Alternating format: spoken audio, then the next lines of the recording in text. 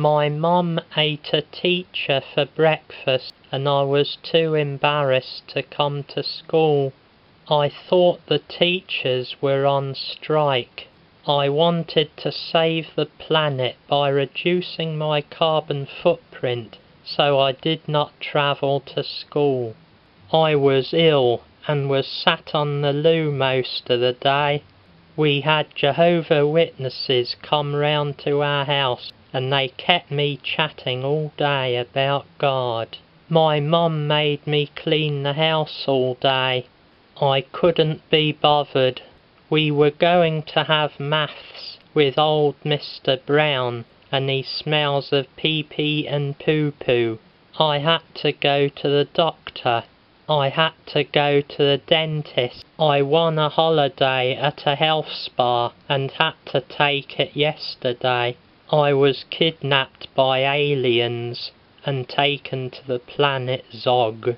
The Teletubbies were coming to town and I wanted to see them.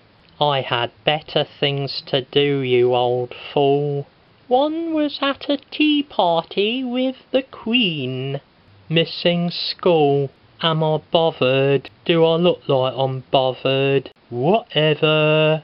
My hemorrhoids were playing up. The headmaster is having an affair with my mum, so I come to school when I want. I had too much homework to do. I was coming to school, then I dropped my glasses, and it took me all day to find my way home. I was constipated, and it took all day before it all came sliding out. I wanted to watch Salad Fingers because I like rusty spoons. I missed the bus. I was on Facebook and forgot all about going to school. I don't know who, but someone locked me in my wardrobe. Our house caught fire the fire brigade were too busy, so we had to put it out ourselves. Golly gosh! One wanted to have a spiffing day out, and one did. There are no cigarette machines at the school. I came to school only to find it wasn't clean enough, so I left.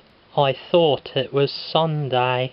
My parents were worried for my safety with all the bullying at the school.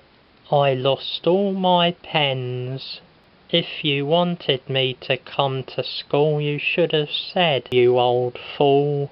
It's like a prison. I needed to escape from it.